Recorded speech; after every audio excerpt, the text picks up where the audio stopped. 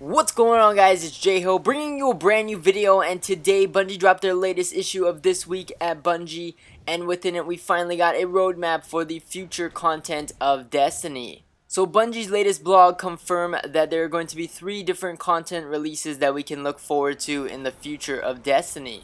So the first one is going to be a large content update and it's scheduled for the spring so it's going to be just a game update which probably means it's going to be free and it's just going to be another update to the game once that is released. However, this one's going to be a lot bigger, so the recent ones that we saw was the update in December with SRL and all the new exotics, and then we got one this week with the Crimson Days event. So this one's going to be another content update similar to that that we just have to download and it's going to have a bigger amount of content in it. So they say that this content release will feature a significant light increase, a bunch of new gear to earn and equip, and new challenges for PvE players seeking some more fun experiences and replayability. So based on this excerpt right here, I think it's going to be a bunch of new stuff that we can look forward to. Uh, the main thing that's probably going to come in this is the new exotics that we haven't seen for the Taken King, the last few exotics that have been in the database that people were wondering where they were and they're probably going to be added to the game within this one.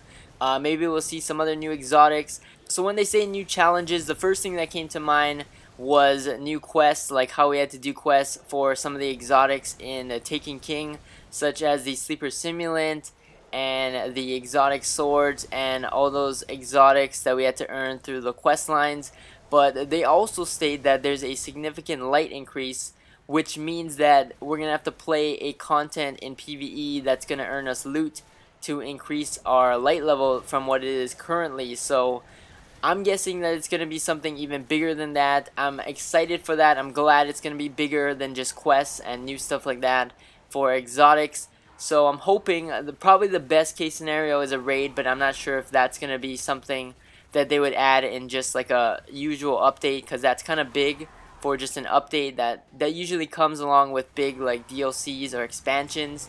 So hopefully it's something along those lines since it is going to allow us to increase our light level but I'm guessing it's going to be something that's going to be different just because they add replayability, just like how they mentioned that Prison of Elders was replayable when that came out with House of Wolves. So hopefully it's something better than Prison of Elders since that kind of got a little bit stale really quickly. A lot of people stopped playing it after like the first week or so of House of Wolves and uh, just played like trials and stuff. So hopefully it's something new that's very exciting and replayable and lasting till the next piece of content.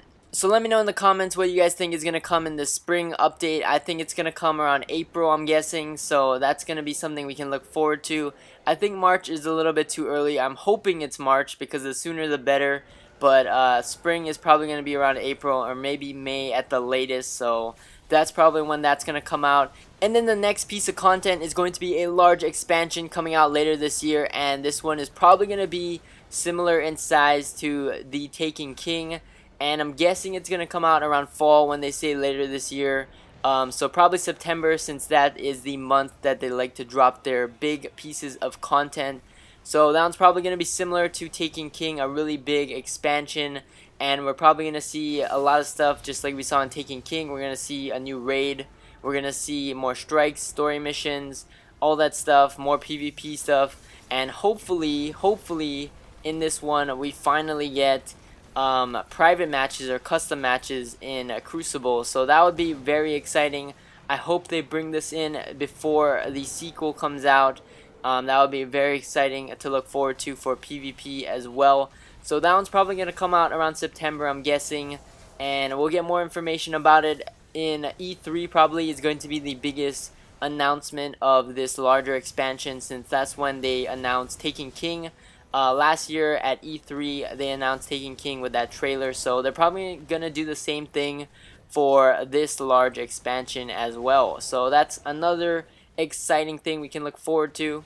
And then finally, the last piece of content is going to be the full sequel of Destiny. So Destiny 2 is going to be coming out in 2017. So next year is the official release of the sequel to Destiny and that's very exciting. Everyone thought they had a plan laid out where it's going to be a new sequel or a new game every two years, and they're announcing that it's going to be coming out in 2017. So I'm guessing that it probably did get delayed, even though they didn't technically announce that Destiny 2 was coming out this year. But I think it did get a little bit delayed due to the issues that they're having at Bungie, and that's why they had to get a new CEO and all that stuff. So they probably had to delay it a little bit, but the longer they delay it or the longer they take on making it, the better it should be. So that's exciting. At least we got a bunch of new stuff to look forward to in between, especially with this large expansion coming out later this year. So the sequel is probably coming out around the beginning of 2017. I think that's the best time period to release the sequel, especially if there's nothing in between this large expansion and uh, the sequel of the game. So I think they should release it around the first few months, so January through March is probably the best. And they're probably going to announce more stuff at the end of this year for that sequel as well. So a lot of good stuff to look forward to. I'm really excited. I'm finally happy that we got some announcements of new content. It's been a little bit dry in terms of information as of the past few months and a lot of people have been getting really antsy and finally we can look forward to new content so I'm really excited for all this new content. Let me know what you guys think. Thank you guys for watching. As always, like, comment, subscribe. Stay tuned for more videos. And I will catch you guys in the next one. Peace!